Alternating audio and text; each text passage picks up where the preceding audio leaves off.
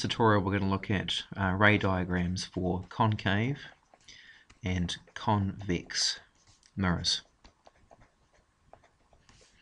Okay, to begin with just some basics, um, a concave mirror looks like this.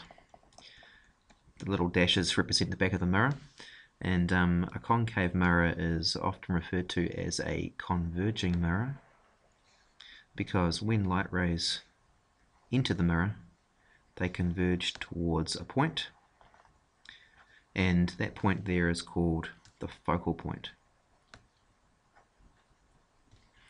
Um, the distance from the focal point to the mirror is called the focal length, that distance there. And um, the center of the mirror here is called the pole, and an imaginary line that goes through the here is called the principal axis. Uh, convex mirrors are the opposite way around. Okay, they're often referred to as diverging mirrors because light rays that enter into the convex mirror, the light rays tend to diverge, spread out, and those diverging light rays come back to uh, a focal point as well, but we call this a virtual focus. And normally we do a little dash there to represent the virtual focal point. Okay, so you'll be expected in your exam to um, be able to complete ray diagrams for both convex and uh, concave mirrors. Alright, we'll start with concave. So you've got a concave mirror Now in the exams, normally they don't draw the mirror in, they just draw a vertical line to represent the mirror. So all light rays we draw on this diagram are going to be are going to go back to the vertical line. Uh, this line I've drawn through here is the principal axis, and we're going to put our object here. The object is normally just an arrow. Um, and the focal point I'm going to label at that point here. Uh, now with concave mirrors, uh, any light ray that moves along parallel to the principal axis will be reflected through the focal point. Any light ray that moves through the focal point,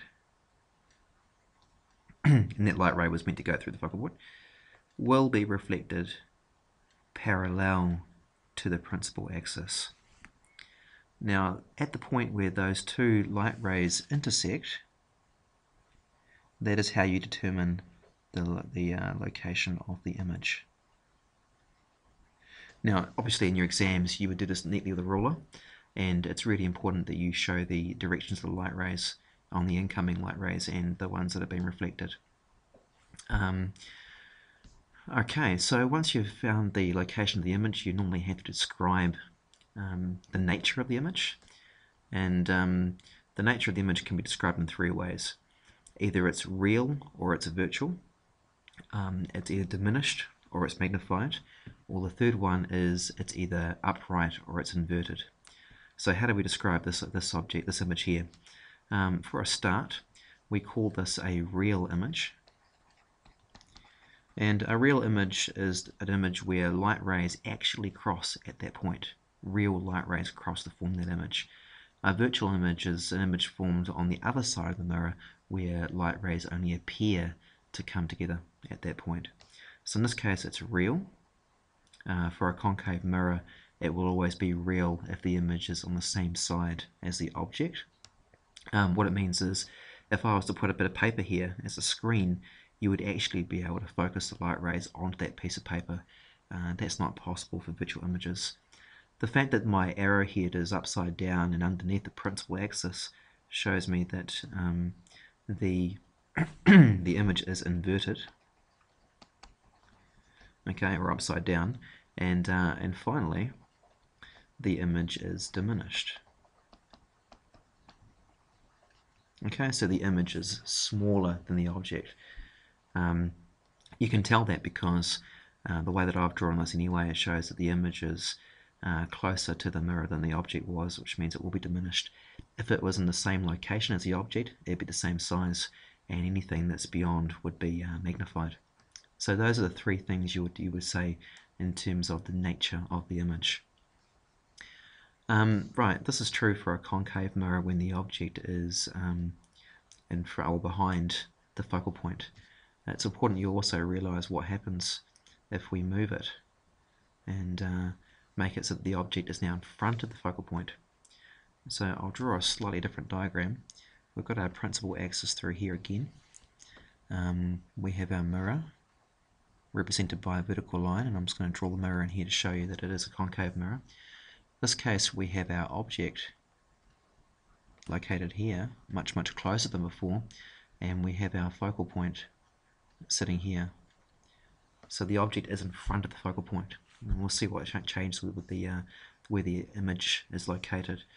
Um, so like last time, a light ray that moves parallel to the principal axis will always be reflected back through the focal point.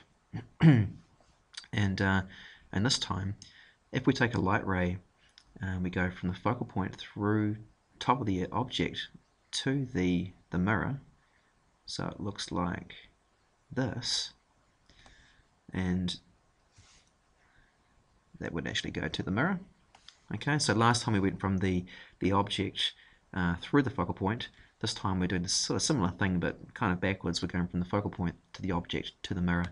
Um, that light ray, when it hits the, the mirror, will be reflected back parallel. Now what you'll notice is that if you have a look at the two reflected light rays, they will not come together to form an image on the side which means the image must be located on the virtual side of the mirror. To locate the image, what we do is we dot back the reflected light rays. That's really important. So this one's reflected, dot it back. This one's reflected, we dot it back. And where the reflected light rays appear to come together behind the mirror, this is the location of the image. So in this case, the image is described as being virtual. Okay, so light rays appear to go there, but they don't actually go there. It's described as being upright. And it's also described as being magnified because the image is clearly larger than the original object. Now in terms of practical applications, well, uh, for the case here where you have an upside down image, um, I can't really think of any good practical applications. Um, certainly if you're looking into the inside of a spoon, the concave part of a spoon, at um, a distance you will see your image being upside down. Um, or if you actually take those light rays and try and um, reflect them onto a piece of paper, you would be able to form an image, a real image. Um, this one here, is uh, often used in shaving mirrors and, um, and makeup mirrors where you want the, the image to be magnified or larger. So those are um, two sort of applications with the, um, the concave mirror. And of course, uh, this is a case where you have your object in front of the focal point, and um, the one over here is a case where you have your, your object uh, behind the focal point. So for convex mirrors, got a similar sort of story. Okay, drawing your, your principal axis, vertical line representing the mirror, and we'll put our object here. Alright, um, a convex mirror is going to have a, a virtual a focus, so a focal point behind the mirror. A light ray that goes parallel to the principal axis um, will be reflected. And it's going to come back in line with the virtual focus. So you imagine we line this up here. It's going to be reflected back that angle there.